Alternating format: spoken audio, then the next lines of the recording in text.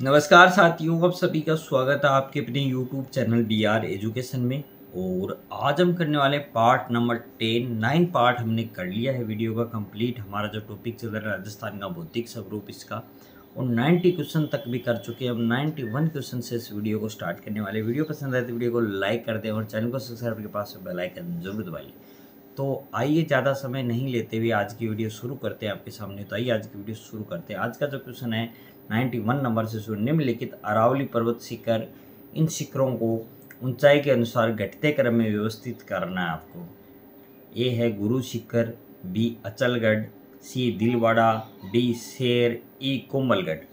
तो घटते क्रम में करना है ऊंचाई के अनुसार। तो ए है इसमें ए, बी, सी, डी, ई होगा। ब है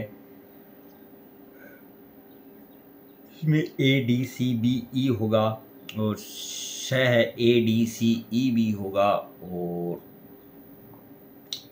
द है ए सी बी ई डी होगा। तो राइट आंसर करिए बताइए इसका सही राइट आंसर क्या होगा आपकी दृष्टि से, जो भी राइट आंसर फटाफट हमें राइट आंसर करके इसका राइट आंसर दे, जो भी राइट आंसर है इनका। तो इसका राइट आंसर क्या होगा यहाँ पर? इसका राइट आंसर होगा ऑप्शन दोनों, ब। इसका ब right answer A D C B E आगे बात करते हैं नेक्स्ट क्वेश्चन की और नेक्स्ट क्वेश्चन है यहाँ पर आपका। अरावली श्रेणी के दक्षिण भाग की पर्वतीय चोटी है। अरावली श्रेणी है। उसके दक्षिण भाग की जो चोटी है, वो बताएँ कौन सी है? ए है बाबाई, ब बैराट, श डोरा, द रघुनाथ तो राइट आंसर क्योंकि बताएँ इसका सही आंसर क्या होने वाला ऑप्शन ए ऑप्शन ब ऑप्शन सही ऑप्शन द अरावली श्रेणी के दक्षिण भाग की पर्वतीय चोटी कौन सी है? ए, बाबाई, ब, बैराट, श, डोरा द रघुनाथ तो right answer they option A ब, से, या जो भी राइट आंसर फटाफट में इसका राइट आंसर करके बताए। राइट आंसर दे दे। आपकी दृष्टि से जो भी आपको इसका उचित आंसर लगता हो, हमें आंसर दे के बताए। अरावली श्रेणी के दक्षिण भाग की पर्वतीय चोटी कौन सी है? ए है बाबई, ब, बैराट शेडोरा द है रघुनाथ गढ़ तो इसका कौन सी आपकी स ऑप्शन राइट होगा डोरा? नेक्स्ट है मालदानी पर पहाड़ी में स्थित है।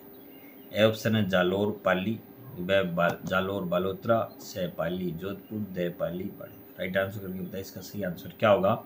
ए है जालोर पाली, ब जालोर बालोत्रा, से पाली जोधपुर, दे पाली बाड़मेर। राइट आंसर करके बताइए, इसका ऑप्शन ए, ब, से या द। मालानी पहाड़ी में स्थित क्या है? ए है जालोर पाली ब जालोर बालोत्रा स है पाली जोधपुर द है पाली बाड़मेर राइट आंसर करके बता दें, इसका सी आंसर क्या होगा? नाइन्टी थ्री नंबर क्वेश्चन का जो भी राइट आंसर फटाफट में इसका राइट आंसर करके बता दें। आपकी दृष्टि से इसका सी आंसर क्या होने वाला है? ऑप्शन ए ब से या द तो मालानी पहाड़ी में स्थित क्या है? मालानी पहाड़ी है, उसके अंदर है जालोर बालोत्रा ब ऑप्शन राइट होगा। नेक्स्ट क्वेश्चन आपका। यहाँ पर। निम्न में से कौन सा राजस्थान के बंगर प्रदेश का भाग नहीं है? कौन सा है जो बंगर प्रदेश का भाग नहीं है? ऐसे कवटी, ब घग्गर बेसिन, से बनास बेसिन दह गोडवाड़ बेसिन। राइट आंसर करके बताइए, इसका सही आंसर क्या होगा? कौन सा राजस्थान के बंगर प्रदेश का भाग नहीं ऐसे कवटी, ब घग्गर बेसिन, से बनास बेसिन दह आपका गोडवाड़ प्रदेश। राइट आंसर करके बताएँ, जो भी राइट आंसर कमेंट बॉक्स में बता दें, इसका सही निम्न में से कौन सा राजस्थान के बांगर प्रदेश का भाग नहीं है शेखावाटी बेसिन, से बनास बेसिन, दे, आपका गोडवार बेसिन। तो राइट आंसर करके बताएँ, इसका सही आंसर क्या होगा आपकी दृष्टि से? जो भी राइट आंसर होना पड़ेगा इसका राइट आंसर करके बताएँ।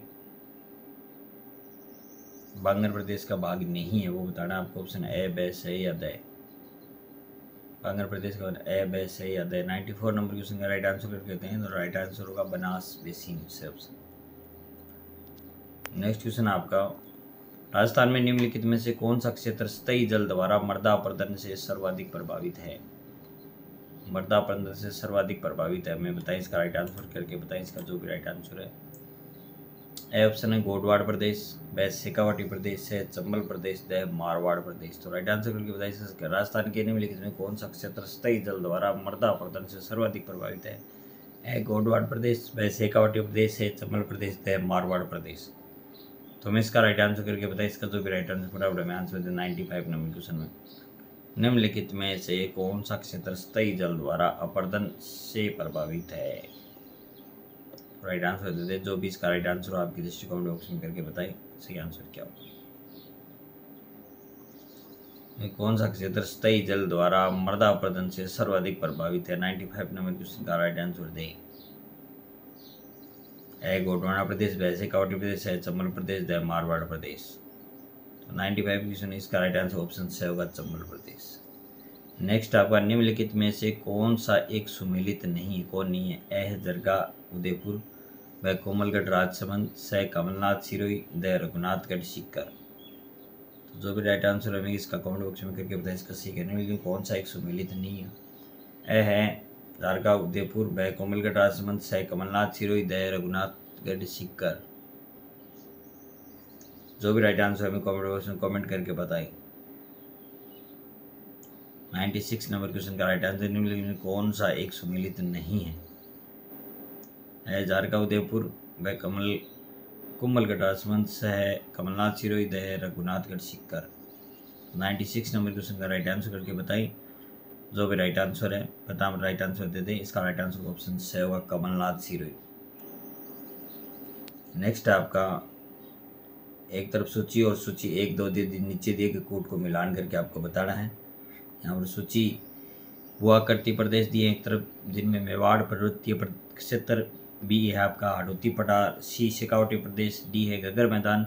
इधर दृश्य दिए गए सूची दो, मुकुंदरा की पहाड़ियाँ, फ़र्स्ट, सेकंड नाली, थर्ड गिरवा, फोर्थ अंत प्रवाह राइट आंसर है ए बी सी डी इनका कोट है, वो सही मिलान करके बताइए सही आंसर है, वो क्या होगा? जो भी राइट आंसर फटाफट अभी इसका राइट आंसर देके बताएँ। आपकी दृष्टि से जो भी राइट आंसर फटाफट बताइए आपकी दृष्टि से यहाँ पर राइट आंसर क्या होगा? आपकी दृष्टि जो भी राइट आंसर हो, फटाफट हमें इसका राइट आंसर करके बता सकते हैं आपकी दृष्टि से। तो इनका मिलान करना, आपको मिलान करके इनका आंसर है, वो यहाँ पर देना है। तो मिलान करते आइए मेवाड़ पर्वतीय क्षेत्र है, वो किससे मिलेगा? वो मिलेगा गिरवासी। किससे मिलेगा? गिरवासी। फिर आड़ोती का पठार है, वो किससे मिलेगा? वो मिलेगा मुकुंदरा की पहाड़ियाँ में और शेखावटी प्रदेश है, वो कौन सा है? वो अंत परवाह हुआ है और गगर मैदान है नाली। तो ये इनका मिलान होगा। और आंसर की बात करें तो यहाँ पर देख सकते हो आप थर्ड फ़र्स्ट बे ऑप्शन राइट नेक्स्ट है नाइन्टी एट नंबर क्वेश्चन है। पश्चिमी राजस्थान में रेत की टीलों से कितना क्षेत्र मुक्त है? यह है अट्ठाईस पॉइंट पाँच प्रतिशत, ब है इकतालीस पॉइंट पाँच प्रतिशत, से अठारह पॉइंट उनहत्तर प्रतिशत द इनमें से कोई नहीं। जो भी राइट आंसर को राइट आंसर दे नाइन्टी एट नंबर क्वेश्चन के अंदर राइट आंसर दें, आपका जो भी राइट आंसर फटाफट हमें इसका सही आंसर दे के बताएँ।